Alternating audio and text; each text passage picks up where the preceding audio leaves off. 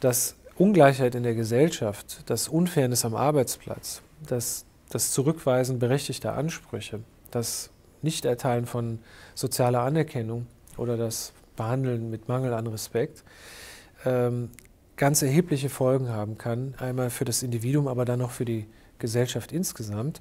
Zum Beispiel hier eben gemessen am Krankheitsstand oder an dem, am subjektiven Wohlbefinden äh, der Menschen.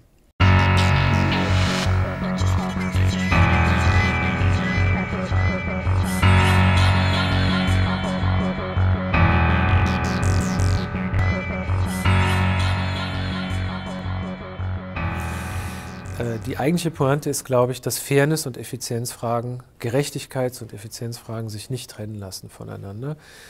Äh, traditionell hat man in der Wirtschaftswissenschaft gesagt, erst die Effizienzfragen, sozusagen erstmal den Kuchen groß machen, ja, Allokationsfragen und anschließend guckt man sich die Verteilung oder die Gerechtigkeit an. Und äh, viele Studien zeigen eben, dass unfaires Verhalten oder Menschen nicht mit Respekt zu behandeln, äh, schon auch auf die Effizienz eine ganz äh, wichtige, äh, also schon für die Effizienz eine ganz wichtige Rolle hat und, und, spielt. Und dass die Missachtung solcher Fairnessprinzipien total effizienzrelevant ist. Und das heißt also, dass Fairness und Effizienz sich nicht trennen lassen. Ich würde das gerne an einem konkreten Beispiel erzählen. Wir haben bei den Arbeitern während des gesamten Experiments mit ähm, die Herzfrequenz gemessen und die Herzfrequenzvariabilität ist ein guter Indikator für Stress, kardiovaskulär induzierten Stress. Oder das, das ist ein Zeichen für Stress. Und je größer die Differenz, also je unfairer die, die, die Behandlung des Arbeiters war, desto gestresster waren sie.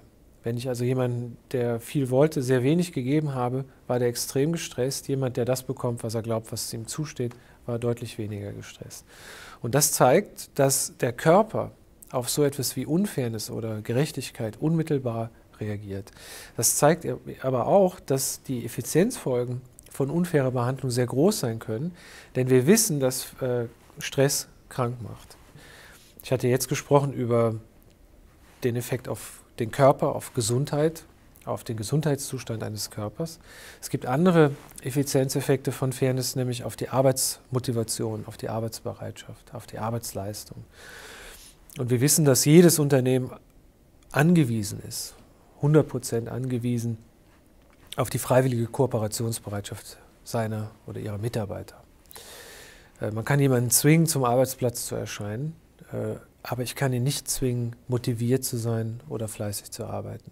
Verträge an dieser Stelle, Arbeitsverträge sind hoch unvollständig und deswegen hat die Firma ein großes Interesse daran, motivierte Mitarbeiter zu haben. Und eine Firma, die keine motivierten Mitarbeiter hat, kann im Grunde genommen dicht machen. Und äh, viele Studien belegen nun, dass die Motivation, die jemand hat, für sein Unternehmen sich einzusetzen, ja, Probleme zu finden, selbstinitiativ zu sein, äh, sich zu engagieren, die Interessen der Unternehmung zu den eigenen zu machen und so weiter, dass das ganz stark davon abhängt, ob der Mitarbeiter glaubt, dass er fair und mit Respekt behandelt wird oder nicht. Und deswegen auch hier an dieser Stelle, Fairness hat eine ganz starke Effizienzwirkung. Und auch hier also ganz deutlich die Trennung von Fairness und Gerechtigkeitsfragen auf der einen und Effizienzfragen oder Allokationsfragen auf der anderen ist so nicht zulässig.